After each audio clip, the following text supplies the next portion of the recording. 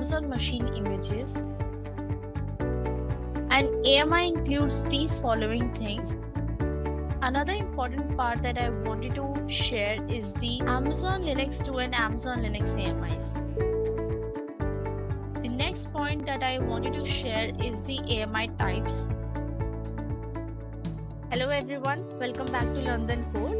In this video, we'll give you an overview of what an AMI is. So without any further ado, let's get started. So AMI is the Amazon Machine Images, which are supported and maintained images provided by AWS. They basically provides you the information required to launch an EC2 instance.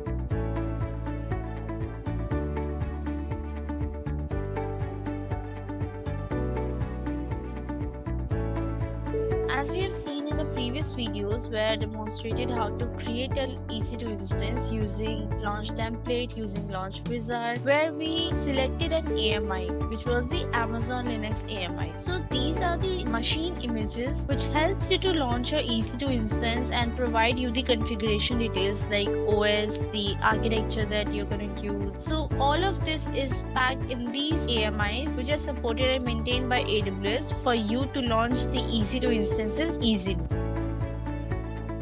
And AMI includes these following things. First is one or more Amazon Elastic Block Store, which are the EBS snapshot or instance store backed AMIs. Next is the launch permissions that control which AWS account can use the AMI to launch instances. Then the block device mapping that specifies the volume to attach the instance when it is launched. So these are the main things that an AMI includes. Another important part that I wanted to share is the Amazon Linux 2 and Amazon Linux AMIs. These are the most easily and quickly used AMIs which you can use to launch your EC2 instances. They are supported and maintained Linux images provided by AWS. Why they are very easy to use is one, they are provided at no additional cost. So basically they comes under the free tier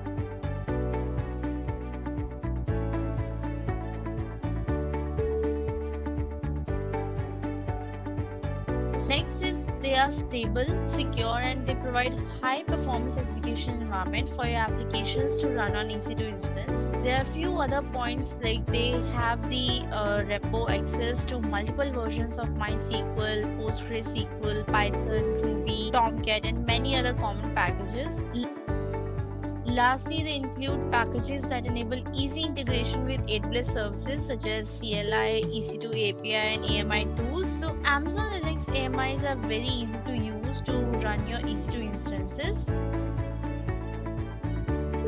Next point that I wanted to share is the AMI types. These are the five things on which AMI is based on. Basically, when you're selecting an AMI, you need to consider these five things when you launch your EC2 instance. First is the region.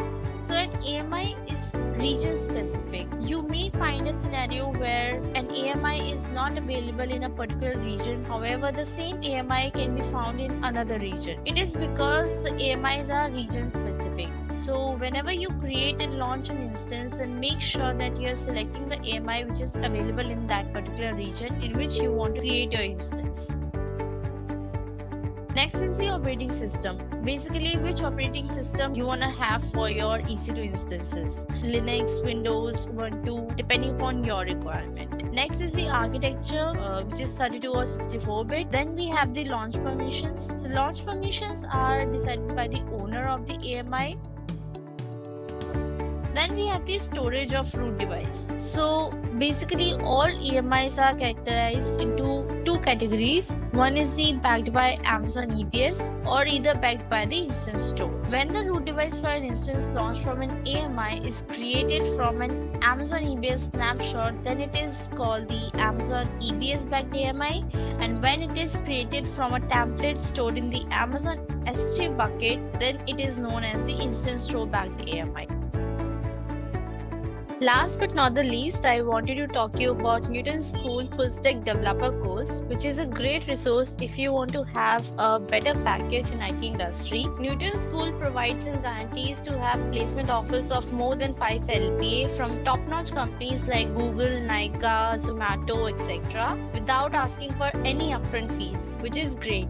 So do check out their full stack developer course. I will provide the link in the description below that was all for this video. I hope you liked it and you found it helpful. In the next videos, I'm going to cover more concepts of EC2 instances. So till then, keep learning.